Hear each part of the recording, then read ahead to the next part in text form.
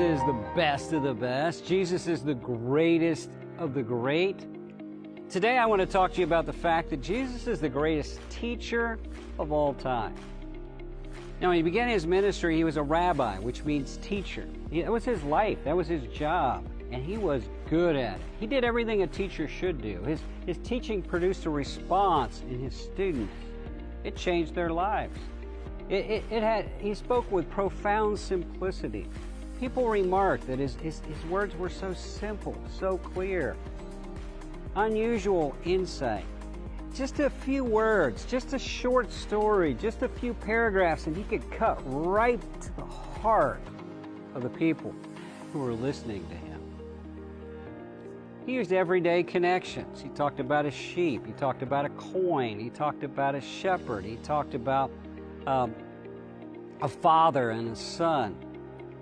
Everyday connections, things everybody in that audience could relate to.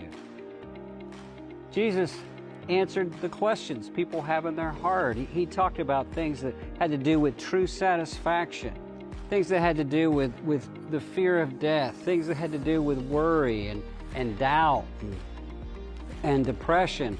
He dealt with the real issues of life as he taught. He used questions. He asked convicting questions. Who do you say that I am? very convicting question. He had the ability of turning a conversation around and getting to the heart of the person through a convicting, a wise, a well placed question. As a good teacher, he sometimes used exaggeration. If your eye offends you, pluck it out. Uh, before you look at the, the, the speck in somebody else's eye, take the plank out of your eye. He was exaggerating to make a.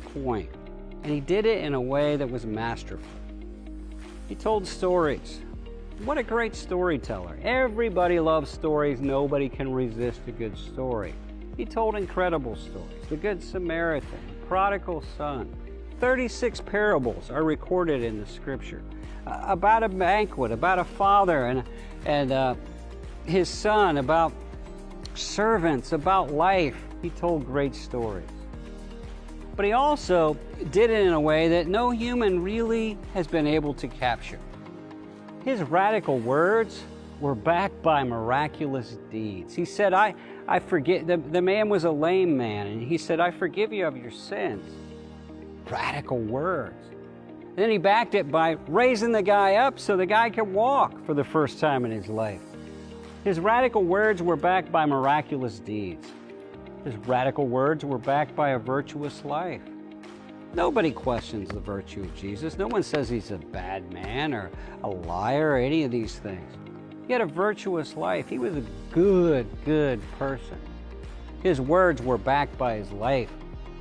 He spoke with a divine authority. People said on many occasions, Nobody speaks to us with such authority. Course, he spoke with divine authority. He was God. He had divine authority.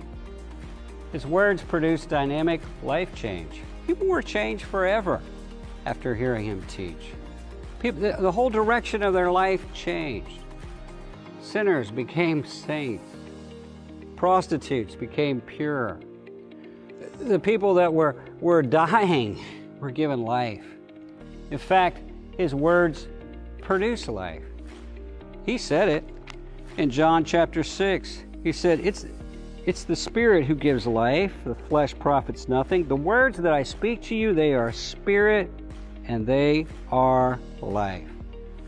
Simon Peter said, uh, Lord, to whom should we go? You are the ones that have the words of eternal life. You read His Word. Do you know Jesus? Read Matthew, Mark, Luke, John. Read them. Let Jesus speak to you through His Word because His words produce life.